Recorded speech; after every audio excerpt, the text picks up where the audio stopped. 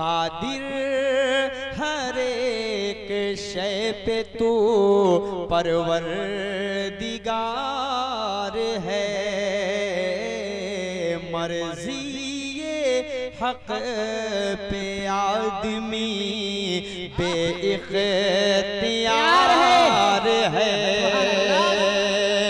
क्या बयां करूँ? शमसुल उलूम की। शमसुल उलूम पर करमो किर दिगार है। आइए तकरीर ही पेश करने के लिए अजीजम सरफराज सल्लमहू को आवाज़ दे रहा हूँ क्या है और अपनी तकरीर को पेश करें। सरफराज सल्लमहू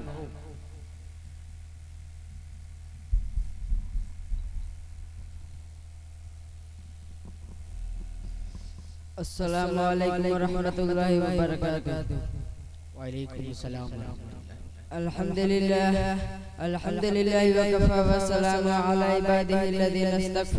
अम्मा बाद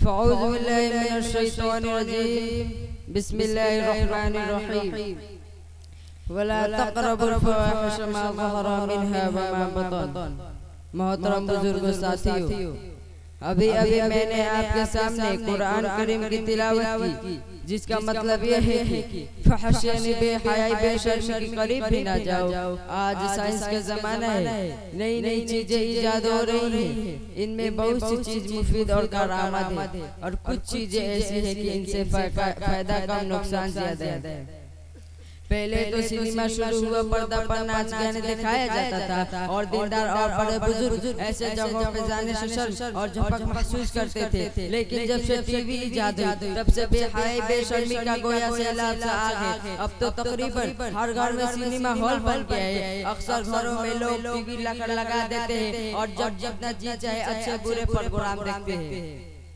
होटल और देगर चाय की दुकान वाले भी इस आला को अपने यहाँ लगाते हैं। ताकि इसके बहाना ज़्यादा से ज़्यादा ग्राहक दुकान पर आए और इनकी बिक्री बढ़ जाए। टीवी पर कुछ सही प्रोग्राम खबरें और वगैरह आती है कि लेकिन इनकी मिकदार दाल में नमक का बराबर है। इंसान का मिजाज है कि इसकी तबीयत बुराई की तरफ़ ज़्यादा चलती है। इसलिए नाच गाने वाले प्रोग्राम लोग ज़्यादा देखते हैं। चुनाचे आज हाल ये है कि बच्चे और नौजवानों के अलावा बड़े बूढ़े लोग भी बेहयाई वाले बेहयाई बेशर्मी वाले प्रोग्राम देखते हैं।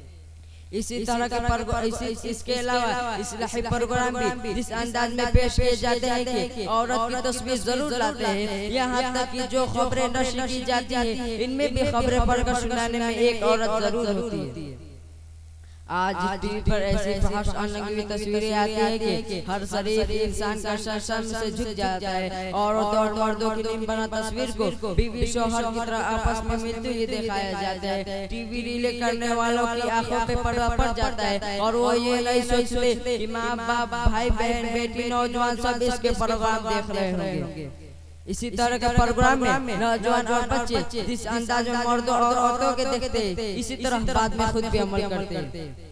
यही वजह है कि आज माशा में नंगापन बढ़ता जा रहा है। नौजवान जिनसे आवारगी का शिकार है, अपना ज़्यादा से ज़्यादा फारिग वक्त गुजार रहे हैं। अपना काम का हर्ज करके लोग दिनों रात क्रिकेट का मैच टीवी पर देखते रहते हैं, जिससे इनका कोई फ़ायदा नहीं। बेमकसद की बहसें करते एक दूसरे से लगते झड़ते और बाजियाँ लगाते हैं।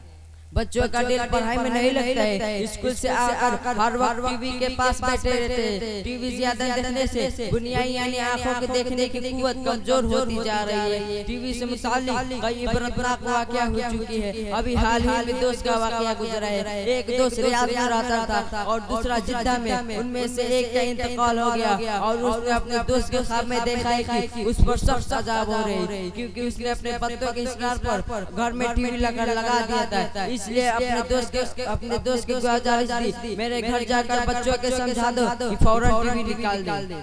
चुनाचा वो सुबह उठकर अपने दोस्त के घर गया। उसके बच्चों के सारा माजरा बयान किया। मरहूम दोस्त के बच्चों उस वक्त बड़ा सदमा हुआ। उसी वक्त टीवी उठाकर पटक दिया और वो टूट फूट गया। फिर दूसरे दिन मरहूम दोस्त में दिखाई पड़ा। फिर दो, फिर दूसरे दिन मरहूम दोस्त में दिखाई पड़ा। उस पर वो काफ़ी खुश था। उस पर कोई आज़ाद नहीं हो रही थी। अफसोस का मकाम है कि आज मुसलमान इस ईमान सोच बुराई की तरफ़ माइल है। अपने बच्चों के लिए घरों में टीवी लगा लगा देते हैं। एक बुराई वो होती है जो खुद अपनी दाद तक मौजूद होती है। लेकिन टीवी की बुराई ऐसी है कि इसको ना जाने कितने लोग देखते हैं। अक्सर घरों में मोहल्ले के लोग भी आकर टीवी देखते हैं। जितने लोग टीवी देखकर गलत रास्ता पकड़ेंगे उन सब का अहवाल टीवी लाने वाले पर होगा। अल्लाह ताला हर मुसलमान को इस लानत से महफूज रखे आमीन आखिर में अल्लाह ताला से दुआ है कि अब तक हमने जो गलती की है उसको माफ़ फरमाए और आइंदा के लिए तय कर दे कि टीवी के करीब भी ना जाएँगे। आमीन। व आखिर दावाना अल्हम्दुलिल्लाहि रब्बिल आलमीन। अस्सलाम वालेकुम। माशाअल्लाह बहुत खूब। अभी ये बच्चों की तकरीर का सिलसिला खत्म होया चाहता है। और जिन अजीम शख्सियात की मोहब्बत में आप गिरफ़्तार हैं यके बादी गिरे। गिरफ़्तार हैं। सारे शख्सियात जो जहाँ हैं वहीं आफ्ताब हैं यके बादी गिरे। उनकी जियारत भी हम फरमाएँगे। और मेरे अहबाब मेरे नौजवान या अज़ीज़ तलबा जो दिगर मदारिस से आए हुए हैं। बराह करम अपनी नशस्त को लेकर के बैठ जाएँ। और महफिल को संजीदा बनाएँ। सारे कराम की हाजिरी के बाद दिगरे होगी।